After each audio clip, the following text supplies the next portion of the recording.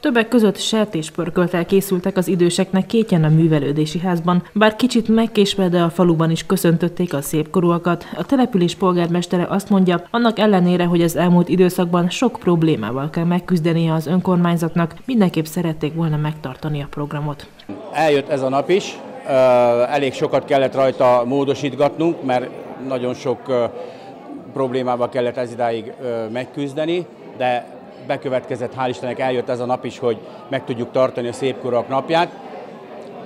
Ö, minden évben meg szoktuk tartani, megemlékezünk a, a szépkorainkról, ha nem úgy, hogy összehívjuk őket ebbe a, a kultúrházba, egy közös ebédre, illetve egy ö, kis műsorra kedveskedünk nekik, az elmúlt, akkor úgy, hogy mint például az elmúlt években valamilyen ajándékot, szaloncukrot vagy ilyesmit vittünk nekik, és, de igazából ez az a forma, amit mindig próbálunk megszervezni, mert az a célunk, hogy legalább, ha máskor nem egy évben egyszer, aki el tud jönni, az jöjjön, és meg, megismerkednek, látják megint egymást, vannak olyanok, akik már régóta nem találkoztak, már a falu alsó végén lakik, illetve a falu felső végén lakik, és akkor így, így próbáljuk őket egy kicsit kimozdítani otthonról.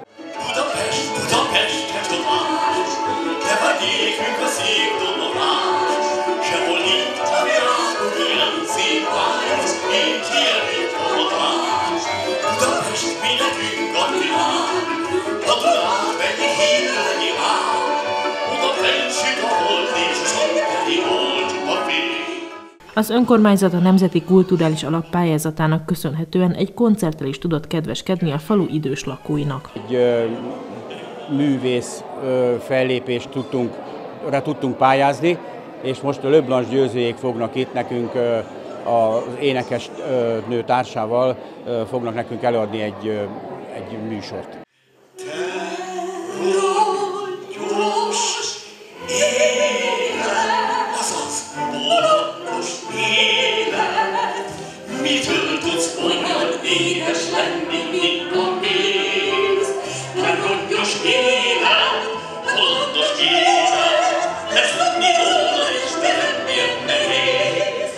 Azért fontos szerintem, mert egy évben mindenképpen én szeretném őket látni, és ugye általában én megyek el őket meghívni. Talán az idén egy utca volt, amiben nem tudtam elmenni, de a, a, a falu többi részén személyesen hívtam meg az időseket.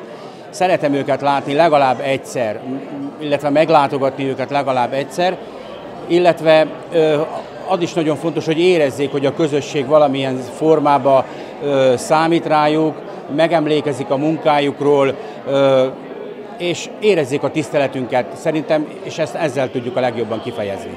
Az biztosan elmondható, hogy a rendezvény hátralevő részében a jó hangulaté volt a főszerep a Kétyi Művelődési Házban.